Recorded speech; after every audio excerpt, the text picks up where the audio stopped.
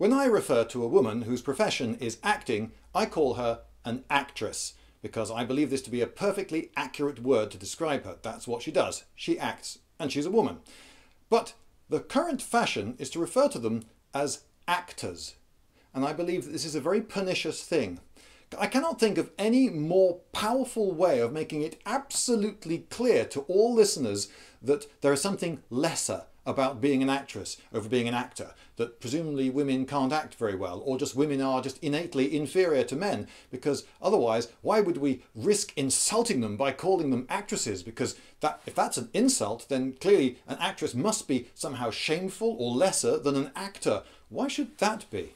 I call them actresses, uh, not just because I have a love of the English language or because I believe it's just perfectly accurate, but also because I have far too much respect for women not to. I don't want to insult them by calling them actors. I don't want to promote them to the high, lofty status of actor. Oh, you're so good at acting. You, why, you could be a man. It's amazing. Oh, does it, does anyone, does honestly, does anyone think that women are not good at acting or are less good at acting than men? Uh, they might even be slightly better, who knows? Uh, but I've never heard anyone even suggest that women can't act. And yet, we can't call them actresses, not professional. Oh, no, no, no, no, that, that would be wrong. Now, when I have put this to some actual professional actresses, the most common reply has been, ah, well, uh, you see, there's a strong association between uh, actress and prostitute. Is there? Is there really? Do you know anyone who, who conflates those two in his or her mind? I don't. I have never knowingly met anyone who thinks that someone must be a prostitute if she's an actress.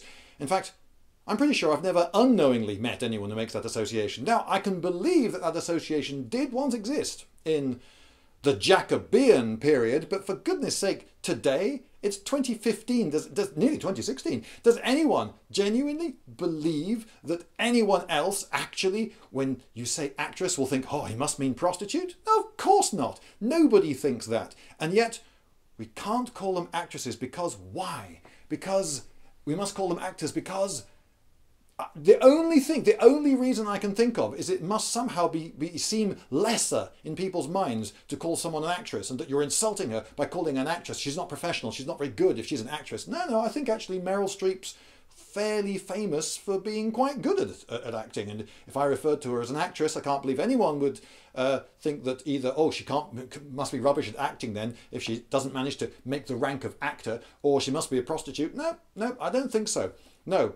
Um, I think people should use the word actress because to call them actors is an insult and it's a very, very powerful thing. Imagine you're a mother talking to your daughter and you say, oh, no, no, no, no, you, you must insist that everyone calls you an, an actor, not an actress. Well, well done, mum, because I don't believe that your daughter actually had the association in her mind of actress and prostitute uh, until perhaps you put it there by telling her about it. And um, I, don't believe either that that little girl necessarily believed that she couldn't act just because she was a mere girl. No, I think actually what you've done, Mum, is you've put into that little girl's head a very powerful idea that there is something genuinely lesser about being an actress. What could that be?